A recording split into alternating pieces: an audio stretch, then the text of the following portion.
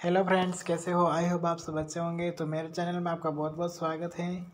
तो आज मैं बना रहा हूँ दूधी के मुठिए जो ये खाने में बहुत ही टेस्टी लगते हैं और अच्छे ब्रेकफास्ट में या किसी भी साथ खा सकते हैं। और यहाँ पे आटा लिया है मैंने और जो धनिया लिया है, बेसन लिया है, सूजी लिया है, बड़ा वाला।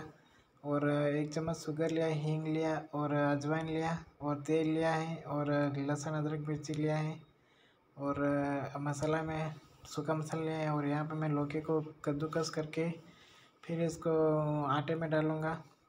तो पहले मैं बेसन और सूजी को मिक्स कर लेता हूँ आटे में। अच्छे से मिक्स करना है। और अब हम डाल देंगे लौकी। और लौकी के साथ ही हम डालेंगे नमक स्वाद अनुसार। और डालेंगे दही डाल देंगे और ऑयल डाल देंगे, धनिया डाला है और जीरा डाल दिया, अजवाइन डाला और हींग डाल रहा हूँ और लहसुन अदरक का पेस्ट मिर्ची का और तिल डाला हूँ। और यहाँ पे मैं लाल मिर्च डाल रहा हूँ। अगर तीखा कम खाते हैं तो कम डालिए। आप मैं ज़्यादा खाते हैं, ज़्यादा डाला और हल्दी और मैं धनिया पाउडर डाला है। और थोड़ा सा मैंने काला नमक डाला है टेस्ट के लिए। और अच्छे से मिक्स करेंगे हम इसे। और इसका एक अच्छे से डो बना लेंगे। अगर आप मेरे चैनल पर न्यू हो तो मेरे चैनल को सब्सक्राइब ज़रूर करें और लाइक भी करें।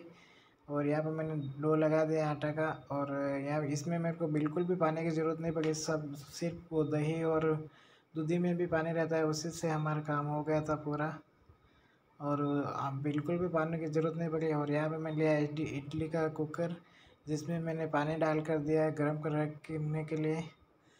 और एक नींबू, आधा नींबू डाल दिया ताकि हमारा कुकर काला ना हो। और यहाँ पे मैंने ऑयल लगा दिया है इस स्टैंड में। ताकि हमारे दूधी के रोल है जो चिपके नहीं अंदर।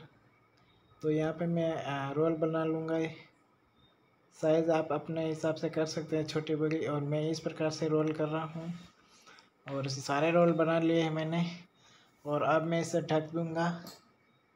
और कम से कम 25 मिनट तक इसको लो फ्लेम पर पकाएँगे। थोड़ा सा और 25 मिनट हो गए हैं हमारा। और अब हम इसे ओपन करेंगे। और 25 मिनट बाद देखिए हम मैंने चेक किया था चक्कू के चिपकता नहीं तो पक गया था हमारा अच्छे से। तो एक मैं चिमटे के साथ साथ से मैं इनको बाहर निकाल दिया और इनके गट्टे कर दूँगा। तो यहाँ पे मैंने तेल, गट्टे भी काट लिए हैं, यहाँ पे मैंने तेल ले लिया है। और इसका अब हम चौक लगाएँगे। तो यहाँ पे मैंने डाल दी राई और तिल डाला बहुत सारा और हींग कड़ी पत्ता डाला और हींग डाल रहा हूँ और अब हम डाल देंगे इसमें ये गट्टे। तो अगर ये मेरा वीडियो आपको पसंद आया हो और ये रेसिपी आपके लिए न्यू है या फिर आपने बनाई है, कैसी बनी है, एक बार बनाकर ज़रूर ट्राई करें और मुझे कमेंट करके बताएँ आपकी रेसिपी कैसी बने। और यहाँ पे मैं लाल मिर्च और थोड़ा चाट मसाला डाल रहा हूँ ताकि इससे अच्छा टेस्ट आए हमारा और थोड़ा सा हल्का सा गरम मसाला डाला और अच्छे से मिक्स करेंगे और दो मिनट तक पकाएँगे थाली ढक कर इससे। और दो मिनट हो चुके और हमारे और ये गट्टे बहुत भी सॉफ्ट और सो फ्रेंड्स आप इसे दही की कड़ी के साथ या फिर ग्रीन चटनी के साथ या सॉस के साथ खाएँ। Thanks for watching bye bye take care friends